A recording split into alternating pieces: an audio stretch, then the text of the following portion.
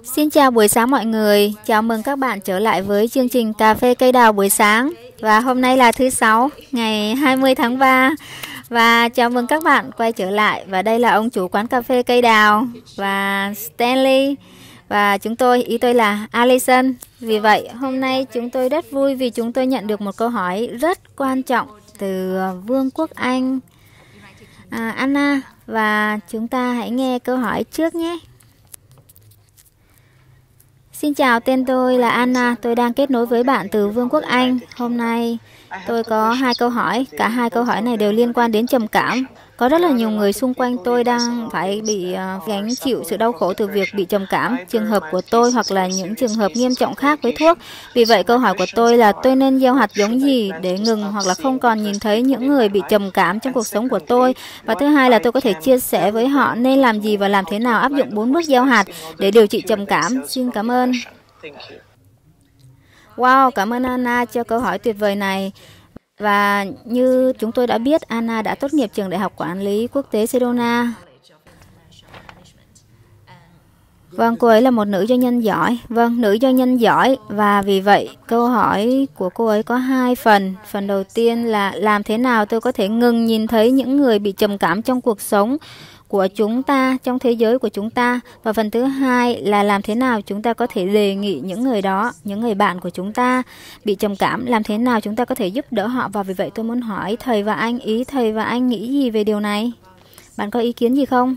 À về điều đầu tiên tôi muốn nói à, bởi vì tôi cũng biết nhiều người bị trầm cảm. Điều đầu tiên tôi muốn nói À, không có gì là xấu hổ khi phải thừa nhận rằng bạn bị trầm cảm hoặc là bạn có một vài vấn đề trầm cảm. Bởi vì tất cả mọi người theo một cách nào đó họ cũng gặp phải một số vấn đề về trầm cảm. Nó chỉ phụ thuộc vào mức độ nghiêm trọng của bạn là bao nhiêu thôi nhưng mà tất cả mọi người trong chúng ta đều có những ngày tồi tệ.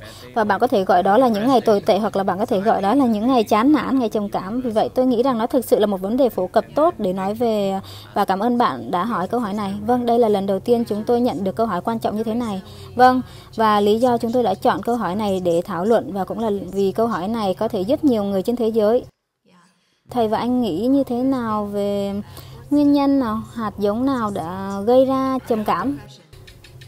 Tôi có ý kiến vì nhiều người đã tìm đến tôi, bạn biết đấy, một phần nghề nghiệp của tôi là giúp đỡ mọi người.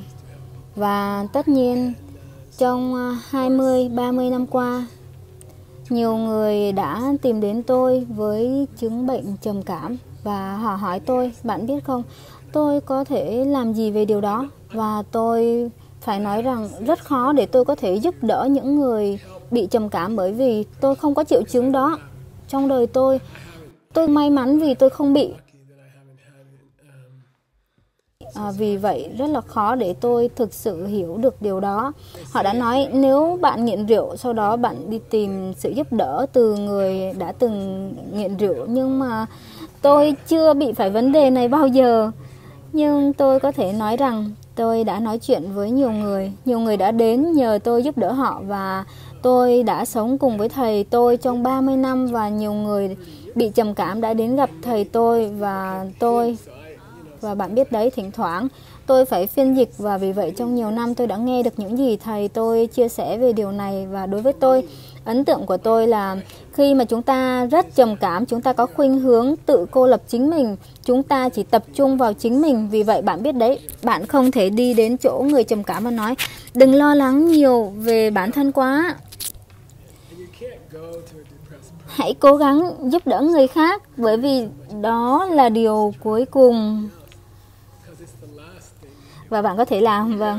À, bạn bị ám ảnh là một nỗi ám ảnh của việc à, tôi cảm thấy như thế nào tôi đang nghĩ cái gì. Vì vậy theo cảm nhận của tôi là hãy cố gắng khiến cho người đó không tập trung vào bản thân của họ và cố gắng tìm cách khiến cho họ tập trung vào vấn đề của bất kỳ một ai đó. Vậy cách hay để làm việc này là gì? Ý tôi là các bạn hãy nghĩ làm thế nào để phá vỡ. À, trong tiếng anh có nghĩa là chúng ta hãy lay chuyển ai đó thoát ra khỏi con người họ. Bạn phải nhìn này bạn phải nghĩ về những người khác một chút chứ.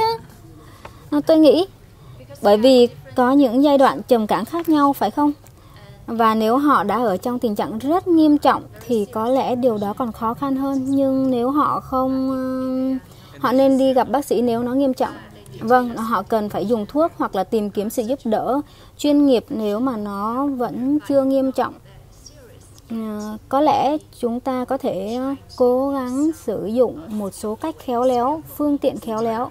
Upaya, Upaya là cái gì vậy? Nghe giống như là đu đủ nha phương tiện khéo léo để giúp họ. Ví dụ bạn có thể kéo họ đi làm một việc gì đó cho cộng đồng hoặc là cho bạn bè của bạn để giúp đỡ người khác. Nó có thể khó khăn để chính tự họ làm và nếu mà bạn có thể khéo léo yêu cầu họ ra ngoài làm một việc gì đó, thậm chí là những việc nhỏ, những việc còn con giúp cho người khác thì bạn đã có thể bắt đầu xoay chuyển để thay đổi toàn bộ tình hình đó. Vâng, giống như là tôi đang nghĩ về một người mà tôi biết là người đó bị trầm cảm nặng và tôi bảo họ là làm một bữa ăn cho người khác, nấu cái um, món gì đó cho người khác. Và họ không thể làm được. Họ cứ nghĩ về bản thân họ và họ không thể làm điều đó. À, rồi thì tôi bảo họ đến nhà tôi ăn tối, tôi sẽ làm bữa tối cho bạn. Và họ tới và tôi đã mời vài người khác đến ăn tối nữa. và tôi nói ô nhìn này có nhiều người ở đây quá bạn cần phải giúp tôi nấu ăn cho họ với nhé và rồi họ sẽ giúp à thầy dùng mẹo với họ. Và điều đó được gọi là mẹo upaya, nghĩa là lừa ai đó. Theo cách tốt, theo cách tốt nghĩ cho người khác. Và điều đó rất chúng tôi có thời gian vui vẻ, chúng tôi có trải nghiệm thú vị trong à, nguyên cả buổi tối. Họ giúp tôi nấu ăn cho những người khác và nó kiểu như là giúp họ thoát khỏi sự trầm cảm của họ một lúc đó.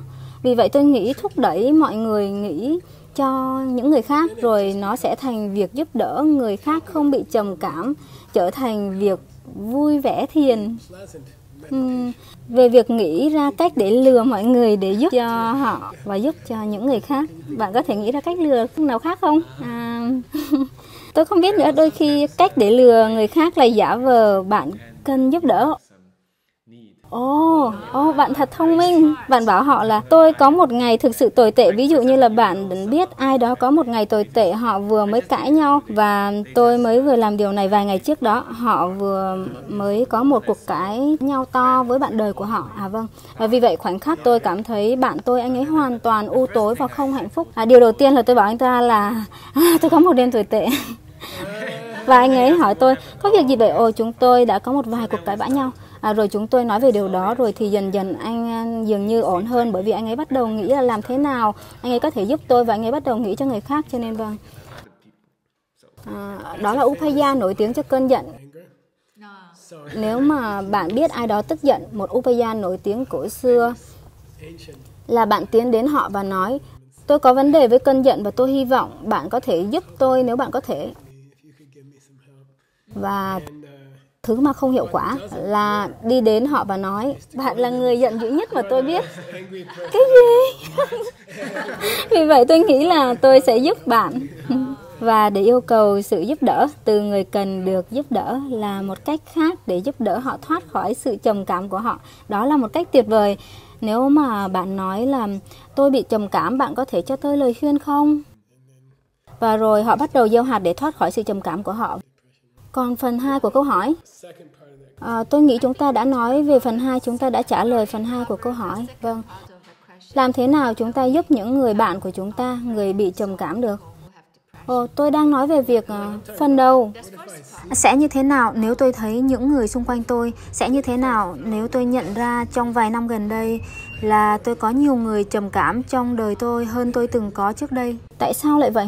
Tôi nghĩ bây giờ chúng ta đang nói về phần đầu trong câu hỏi của Anna. Vâng, à, nó là về làm thế nào tôi để tôi dừng việc nhìn thấy người trầm cảm trong đời tôi và thầy Michael đã đề cập rằng nếu tôi nhìn thấy nhiều và nhiều người trầm cảm trong đời tôi điều gì đang xảy ra tôi nghĩ rằng nó giống như là cái viết vậy hmm chúng đến từ tôi phải không nào? Và rồi nếu mà tôi thấy những người trầm cảm trong đời tôi nó có nghĩa là nếu mà tôi không bị trầm cảm nhưng mà tôi vẫn thấy người trầm cảm trong cuộc đời của tôi điều đó có nghĩa là tôi có những hạt giống nhỏ trong cuộc đời tôi. Ừ, tôi có những hạt giống nhỏ.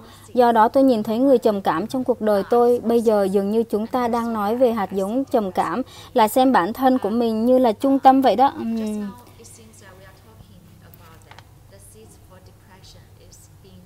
Ừ. Kiểu như là ích kỷ. Ừm, không quan tâm đến nhu cầu của người khác điều đó có nghĩa là tôi có một sự ích kỷ nhỏ trong tôi và rồi và rồi gieo hạt giống. Vì vậy à, tôi bắt đầu nhìn thấy người trầm cảm trong đời tôi. Ừm, và rồi tôi nhìn thấy nhiều nhiều người trầm cảm trong đời tôi nghĩa là tôi đang trở nên ích kỷ nhiều hơn. Nhưng mà hạt đó rất là bé, rất bé, rất rất bé. Có lẽ là việc phớt lờ người khác đi khi mà họ đang khát và tôi không đưa trà cho họ. Tôi chỉ phục vụ cho bản thân tôi, hay là việc tôi ăn hết tất cả việc cút một mình này? Vâng, có lẽ chỉ là những việc bé bé bởi vì chúng ta biết rằng theo quy luật của hạt giống, quy luật à, hạt giống số 2, hạt nhỏ sẽ phát triển theo cấp số mũ. Và bạn nghĩ sao? Tôi đang nghĩ rằng thầy có sự giảng dạy tuyệt vời. Thỉnh thoảng thầy nói đôi khi những người xung quanh bạn là một tấm gương. À, à, chính của chính bạn nhưng mà có hai cách khác nhau để đối xử với người xung quanh. Đầu tiên, tất nhiên ví dụ khi mà bạn thấy nhiều người trầm cảm, một cách là tránh họ không vui gì khi mà thực sự đi ra ngoài với người trầm cảm nếu bạn à, nó là điều không vui nhất. À, vâng họ sẽ kéo bạn xuống. Nó kiểu như là bạn muốn kéo một con bò cứng đầu vậy đó. Nó cứ đứng yên đó không di chuyển chút xíu nào cho nên đó là một cách để có thể xử lý nó. Đôi khi chúng ta cần làm thế để tạo không gian cho bản thân chúng ta để tập trung. Nhưng mà một cách khác mà tôi thực sự thích đó là thái độ chiến binh con công. Ô tôi thích điều đó. Ô thật tốt. Như thế nào ạ?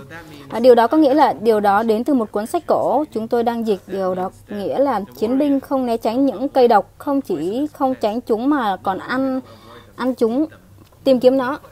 Và tìm kiếm chúng, ăn chúng và họ chuyển thành những sắc màu tuyệt đẹp cho bộ lông của họ. Điều đó có nghĩa là thái độ của chiến binh là bạn đi đến những người đó và tìm kiếm những người trầm cảm và sử dụng điều đó như là một cơ hội tuyệt vời để bạn trở thành một người đam mê hơn bằng việc giúp họ nhiều và nhiều hơn. Vì vậy tôi nghĩ thật là cách tuyệt vời để thấy điều này nó có thể không phải là vấn đề đối với chúng ta để giúp nhiều người trầm cảm xung quanh chúng ta. Nó có thể là một cơ hội tốt cho chúng ta thực hành làm thế nào để giúp người khác tốt hơn, làm thế nào để có nhiều tình yêu thương và những thứ như thế. À, bạn sẽ làm gì khi mà ngồi thiền cà phê vào buổi tối nếu bạn đã và đang làm việc về vấn đề này? Ý của thầy là giúp cho những người khác, người mà bị trầm cảm á, nói về thiền cà phê về sự trầm trầm cảm. Ok, về trầm cảm phải không ạ? À, về chủ đề trầm cảm thiền cà phê tốt ở đây là như thế nào? Nó trông như thế nào? Nó nghe như thế nào? Hôm nay tôi à, tôi nghĩ tôi sẽ tập trung vào đầu tiên à, tôi sẽ tập trung vào hạt giống. À, hạt giống mà tôi đã gieo bằng hành động hoặc bất cứ thứ gì à, liên quan đến gieo trồng hạt giống hoặc là chăm sóc của tôi đến người khác. Tất cả những điều tốt mà tôi đã làm để hỗ trợ để giúp đỡ người khác.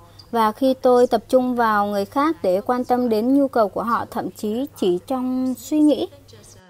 Tuyệt vời tôi nghĩ tôi sẽ tập trung vào chúng và thiền cà phê để tưới nước cho những hạt giống này. Uhm, đang đào sâu về những điều nhỏ nhặt bạn có thể làm bạn có thể nói tôi đã rót trà hôm nay trong suốt chương trình cà phê cây đào buổi sáng. À, bởi vì tôi muốn chống lại sự trầm cảm. Vâng, à, một điều tôi có, thầy đã nói với chúng tôi một câu là bơ làm cho mọi thứ ngon hơn, ngon. Ginseng, ginseng ạ. À, một câu nói nổi tiếng của Trung Quốc. À, vì vậy tôi đã ăn à, bánh mì với bơ. Đó là tôi nghĩ thỉnh thoảng thật tốt khi mà làm một vài điều biết ơn, bạn có thể thêm nó vào trong thiền cà phê của bạn. Bởi vì bạn nghĩ việc người khác đã giúp đỡ bạn như thế nào và biết ơn vì điều đó, nó thực sự như là cảm giác ngược lại của trầm cảm vậy đó. Vâng, tôi phải nói về người trầm cảm là người thường tự cho mình là trung tâm và họ cũng chưa bao giờ có lòng biết ơn. Nó có hai mặt, nó là hai triệu chứng của trầm cảm. Vì vậy, à, chúng ta hãy à, tóm lại, à, điều này có nghĩa là chúng ta tập trung vào những hạt giống như là ích kỷ, cách chúng ta phục vụ và chăm sóc người khác. Điều nhỏ thôi đúng không? Điều nhỏ nhặt. Và hồi hướng nó vào buổi tối gửi nó đến người trầm cảm và có thể về sự biết ơn có lẽ chúng ta có thể có cuốn sổ về hành trình, cuốn sổ nhỏ về hành trình và rồi bạn có thể đem theo với bạn và sau đó bạn có thể viết ra tên của những người mà bạn đã cho um, đã cho bạn sự hỗ trợ hoặc là giúp đỡ đó trước đó theo cách này bạn có thể thực hiện um, thiền biết ơn. Vâng để chiến đấu với hai điều tự cho mình là trung tâm và thiếu lòng biết ơn. Thiếu lòng biết ơn ạ. À. và nó sẽ là một cuộc chiến đấu lâu dài nó sẽ không kết thúc trong một đêm. Không trầm cảm dường như là mãn tính vâng nó dường như ở cùng với bạn và điểm khác mà tôi muốn nói thêm là bởi vì điều Anna đã hỏi về làm thế nào chúng ta có thể giúp những người bạn bị trầm cảm. Nếu ngay từ đầu chúng ta có thể sử dụng một số cách khéo léo để giúp họ nhưng mà nếu họ đủ cởi mở khi mà họ không bị trầm cảm. Vâng vâng vâng vâng. À, khi họ trong tâm trạng tốt và không bị trầm cảm À, và không bị trầm cảm nếu mà họ mở lòng về những ý tưởng hạt giống. Cả bốn bước tôi nghĩ nó sẽ rất là tốt khi mà chúng ta có thể chia sẻ với họ về bốn bước hay những hạt giống. Bởi vì bản chất của bốn bước, bản chất của việc gieo trồng hạt giống giống như là khi mà chúng ta chơi bóng rổ, chúng ta cần một mặt sàn để chơi bóng. Và vâng thực hiện bốn bước, chúng ta cần một người khác để nó được vận hành. Vì thế, để thực hiện bốn bước như một cách tự động, chúng ta cần chuyển sự tập trung từ mình sang những người khác người khác vâng người khác đến những người khác và tìm kiếm một ai đó có cùng nhu cầu hoặc là nhu cầu tương tự điều đó có nghĩa là nó sẽ khiến cho chúng ta suy nghĩ về uh, đâu là nhu cầu của G.C. Michael, đâu là nhu cầu của Stanley và tôi nghĩ rằng việc sử dụng bốn bước chính nó thật sự là một phương thuốc giải độc rất mạnh cho chứng trầm cảm đấy. Bạn nghĩ sao ạ? À? Có vẻ tốt đối với tôi. Điều đó thật hay, đó là hãy dùng bốn bước nhiều hơn. Câu hỏi của bạn ạ. Vâng, à, và các bạn có câu hỏi cho ngày tiếp theo không? Và chắc là bạn muốn nói về nó đấy. Uhm, có thể chúng ta nói về điều này trước ạ. À, cảm ơn bạn đã theo dõi Pick Morning Show và nếu như bạn có câu hỏi từ những người bạn của bạn hãy gửi cho chúng tôi về địa chỉ com bằng cách uh, gửi những câu hỏi của bạn. Bạn cũng đang gieo những hạt giống để giúp cho người khác đấy. Được rồi, câu hỏi cho tuần sau thứ hai ạ. À. Xin chào, tôi là Anna đến từ Anh Quốc. Xin lỗi.